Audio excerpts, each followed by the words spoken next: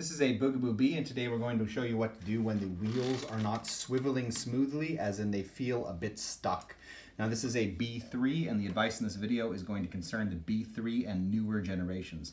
If you have a Bugaboo Bee or a Bugaboo Bee Plus then you do not have internal built uh, suspension mechanisms in order to protect the front wheels from developing wobbly problems. And what you need are wave washers. You can search our channel for other videos dealing with wobbly wheels on the Bugaboo Bee and you'll find some help there. If you, however, have a Bugaboo Bee 3 or newer and your problem is not that it's wobbling, but rather that it feels a bit stuck in relation to its swivel, it can be a couple of things.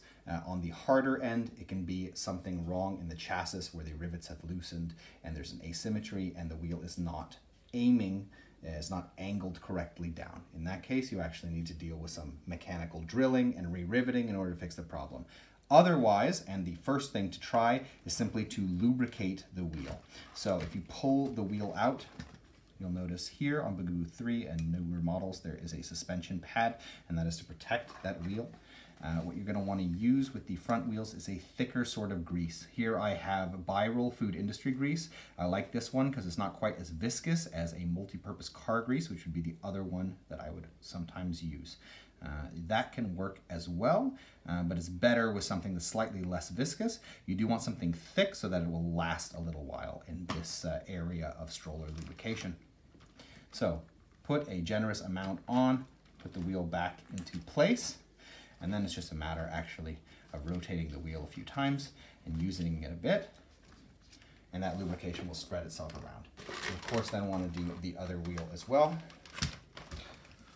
Lubricating uh, all elements of a stroller, but in particular things related to the wheels, is quite an important part of stroller maintenance.